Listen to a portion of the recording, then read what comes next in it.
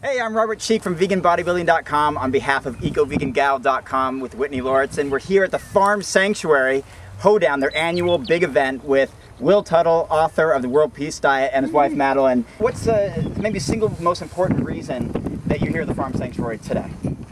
We love animals, and we're uh, here to spread the vegan message and to encourage people to connect with their own inner compassion and love of this beautiful earth and, and starving people to move to a plant-based diet. Let, let the animals live their lives in nature. Reducing the violence, getting some peace on earth. What's the most important thing that someone can do, anybody, uh, who's not uh, who's not vegan right now? What, what's the uh, easy change that they can make?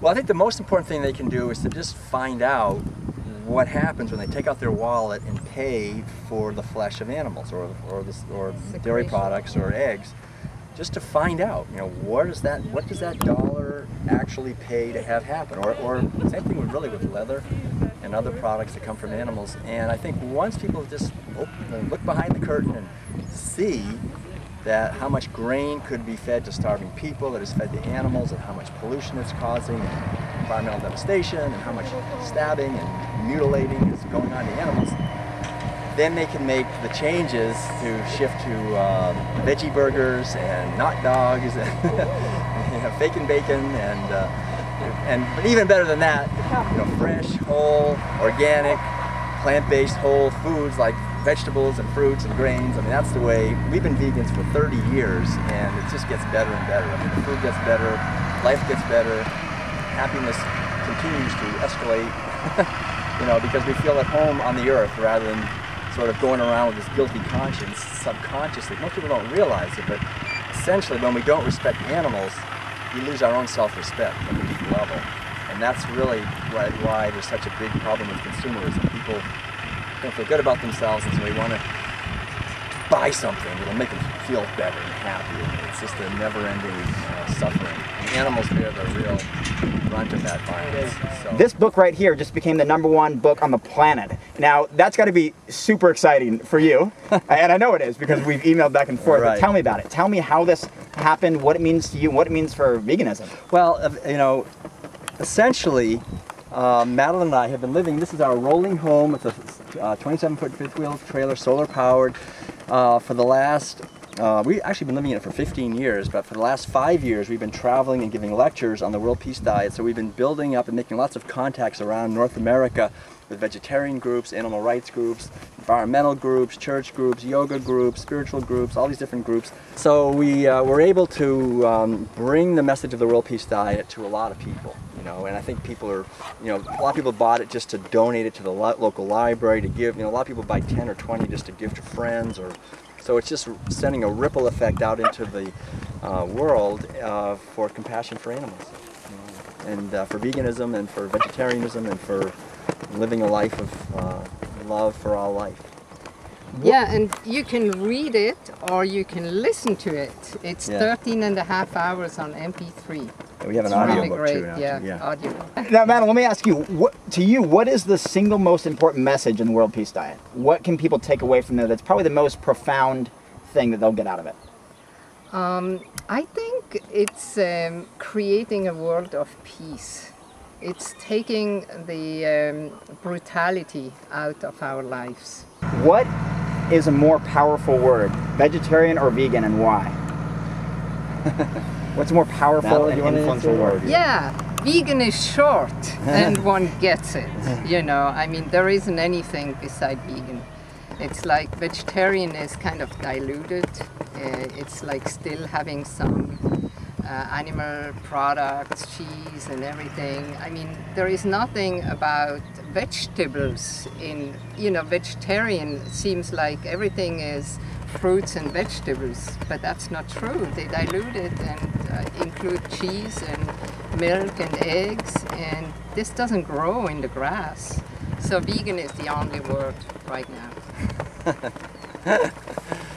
Yeah, I, you know, in the World Peace Diet, I only really use the word vegan because I think it, the, the power that the word vegan has is that it, it accounts for motivation, which the word vegetarian doesn't. You can be a vegetarian for health reasons or because it's cheaper or because it's the in thing to do. But Donald Watson, when he created the word vegan, very conscientiously said it's a philosophy and way of life in which we seek to minimize the cruelty we're causing. So it has an underlying uh, power, an enormous power, that the emphasis is on kindness and compassion to all li- life, to all living beings. And uh, I think the power that vegetarianism has is that most people who, are eating meat become vegetarian before they go vegan. So I think talking to some people who are eating meat, like typical people, I will sometimes use the word vegetarian just because that's where they can go. They, they can't really imagine, conceive of jumping all the way to vegan. But I think people who are vegetarian, it's really uh, incumbent on them to you know look a little deeper and move along to veganism. But I think the ideal of vegan, like Madeleine said, it's so beautiful, it's so powerful. It's a, a word that really takes us to another level.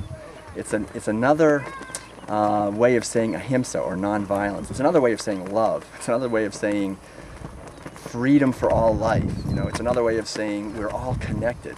It's another way of saying the truth is one and I'm going to live this truth. You know, it's a word that I don't think one can ever totally ever achieve being a vegan. It's um, I think giving up meat, dairy, and eggs, and leather, and silk, and wool, and all that, that's the very first tiny step. And, the, and then the vegan journey begins after that, of including all beings in the sphere of our compassion and living a life of kindness and blessing. And I think then we connect with our joy. So yeah, vegan is the word.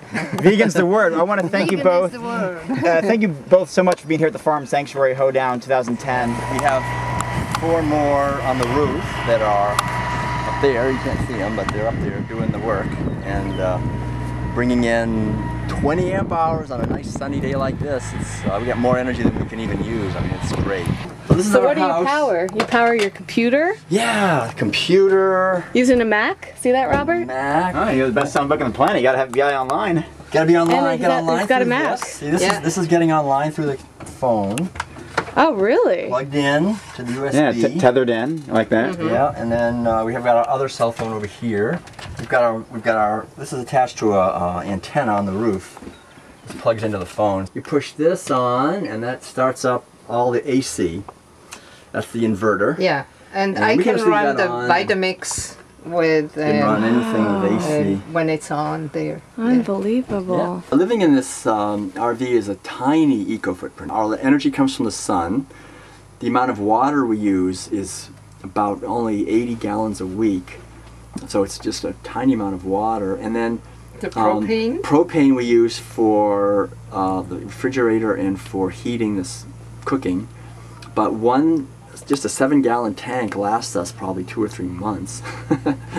so um, And how does that tie into your veganism with the, the well, eco it's just a side of tiny, it? you know, and being a vegan, of course, is a small um, footprint, also eco footprint. But but living in this just reduces it even, you know, a huge amount more because, you know, this we don't use any energy hardly to live. The only energy we use really is to drive somewhere. But we don't put that many miles on. We we plan our our routes so that we're basically we go north in the spring and south in the fall. We put about 15,000 miles a year on our vehicle, which is uh, probably less than most a lot of people who are commuting every day. You know.